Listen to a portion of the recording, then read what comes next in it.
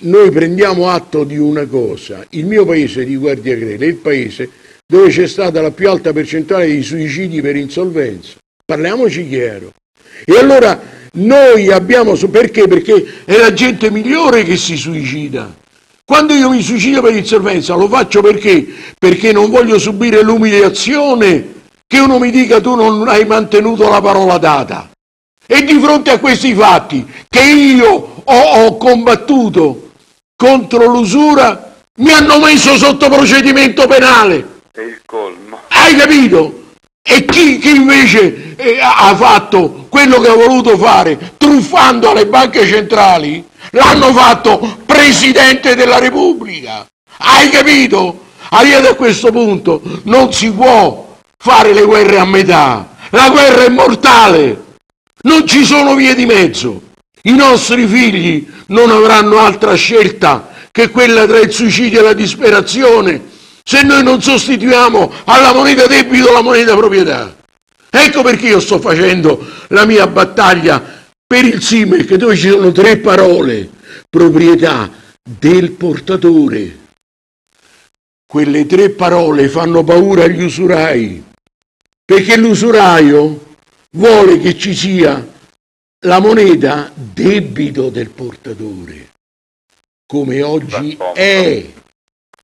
Avete capito? Quando io ho detto queste cose all'università, io ho, ho, sofferto questo problema. Dopo che io ho dimostrato queste cose, io ho avuto pubblicato sulla gazzetta, sull'ordine degli studi, sole 24 ore, Corriere della Sera, i grandi giornali, il terzo anno, per tre anni ho fatto, per due anni ho fatto la scuola sulla moneta, proprietà del popolo.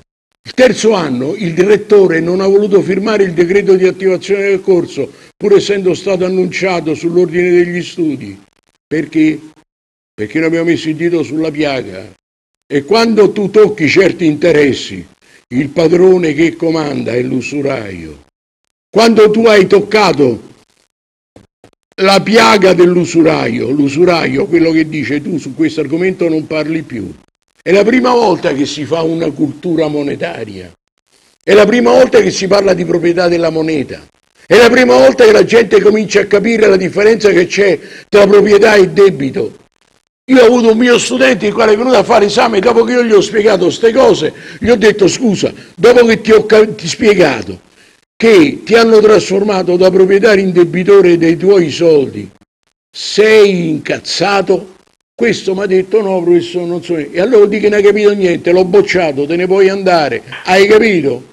Ora queste cose non le possiamo più tollerare, non si può più andare avanti, ogni giorno che passa e trovi la, la gente che è angosciata, tu hai le liti dentro casa, hai eh, gli omicidi che si scatenano perché? Perché c'è l'angoscia è l'angoscia dell'insolvenza, è la malattia fondamentale.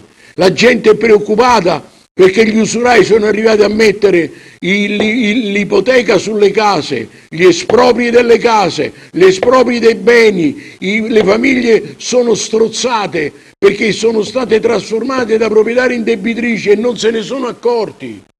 Ecco perché eh. Vada avanti perché lei lotta per il benessere del popolo. Grazie. Auguri. Grazie. Grazie molte.